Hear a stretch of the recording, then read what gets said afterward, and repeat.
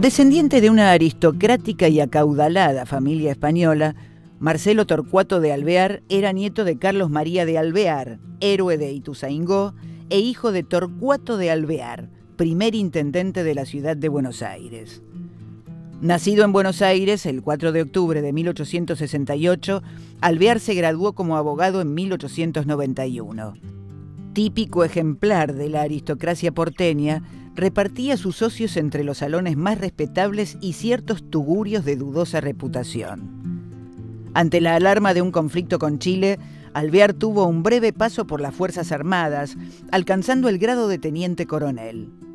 El primero de septiembre de 1889 tuvo una activa participación en el meeting del Jardín Florida, a partir del cual se gestaría la revolución del parque.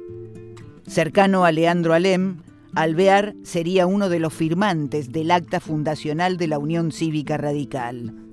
En 1893 fue uno de los responsables de tomar la comisaría de Temperley, a donde tres días más tarde llegó Hipólito Irigoyen con 1.500 hombres.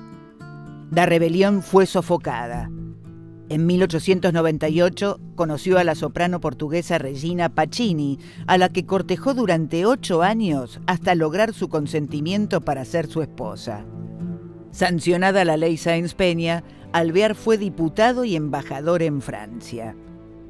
Tras la presidencia de Hipólito Yrigoyen y pese a las diferencias políticas entre ambos, Alvear fue ungido como candidato por el viejo caudillo y en las elecciones de 1922 accedió a la presidencia de la República.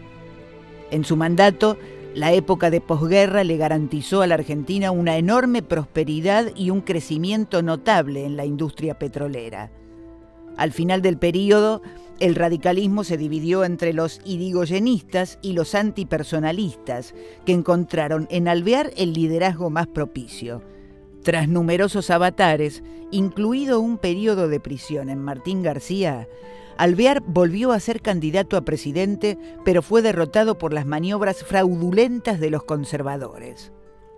Marcelo Torcuato de Alvear falleció en Don Torcuato, el 23 de marzo de 1942.